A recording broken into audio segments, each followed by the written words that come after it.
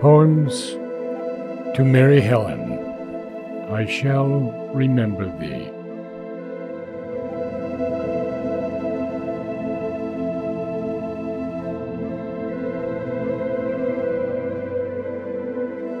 Where beauty lives, I shall remember thee.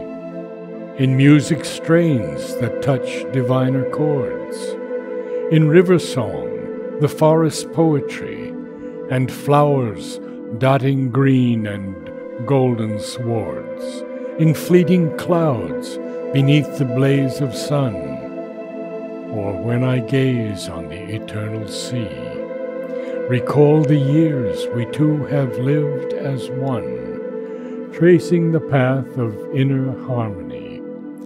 In all that is refined, I'll note thy care and when I view the order of the stars, knowing thee close, though I am unaware, I'll feel thy fingers lightly trace the scars that pain has seared across my wanting soul. For all the suffering I saw thee bear, thy spirit growing through the body's toll, departing softly in the morning air.